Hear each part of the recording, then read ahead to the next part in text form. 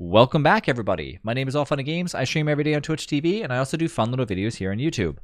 Today, I'm going to showcase some cool stuff regarding wormholes. Have you ever said to yourself, I really want to make myself a custom wormhole. I don't care that it's, you know, not necessarily how it's meant to be in DST, but I've had a mega base. I want to do my own thing. Let's make a custom wormhole. Well, here is how you do it.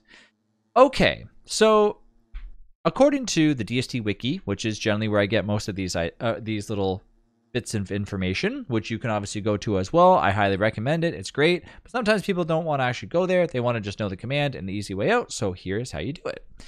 First of all, we need to spawn ourselves a wormhole. And how do you do that? Well, it's not your necessary normal spawn thing. So we're going to go ahead and enter a command. Okay, so let's go ahead and do that. First things first, you want to make your first portal, aka your first wormhole.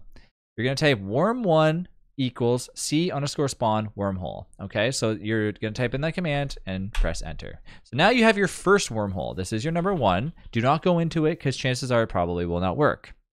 Next, we're going to do the same thing, but we're going to spawn in our second wormhole, aka wormhole number two. So you can copy the same command, and all you got to do is just change it to number two.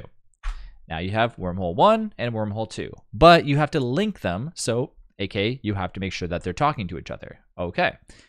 So then you need to also make sure that they connect. So, how do you do that? Well, you have to connect them using a command.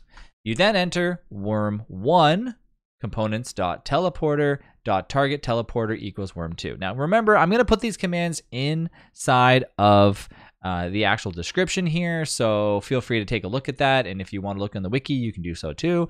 Anytime I, ma- anytime I make a video that has to do with command props, or sorry, with con- I say I say command props. I'm so used to saying that for my PC. For console, you can always go ahead and just uh, look at the wiki, but of course it'll be in the description. So now it says worm one will be targeting worm two. Okay, and then we have to press enter, and then of course we do the same thing, but now we're reversing it, doing one here, and two here. Pressing enter, and now if we go through here, we'll end up right here. Weep. And bleep. There you go. So now you have two connecting wormholes, and if you have wormhole markers, aka the one that shows you colors of wormholes, they'll be the same color as well.